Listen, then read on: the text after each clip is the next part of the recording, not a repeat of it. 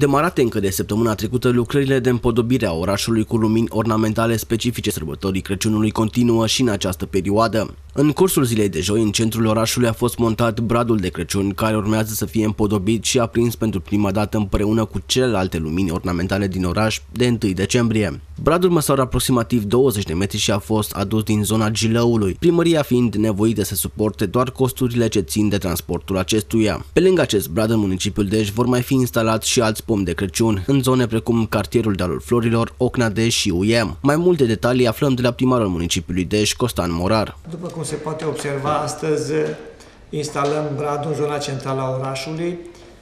Bradul are o înălțime de aproximativ 18-20 de metri și a fost adus din zona Gilăului. Am discutat cu cei de la Ocolul Silvic și bradul este gratuit. Nu avem costuri suplimentare decât de transport.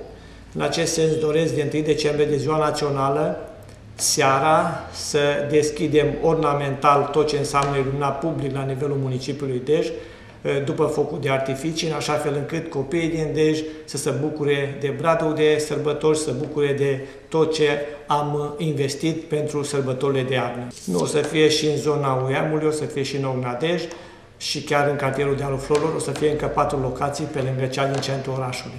Și acești patru brați când vor fi instalați? O să fie tot în cursul săptămânii viitoare, undeva până miercuri o să fie instalați și ornamentați. În același timp vreau să vă spun că de ziua națională am cerut imperativ fiecare unități de învățământ preșcolar, școlară și liceală.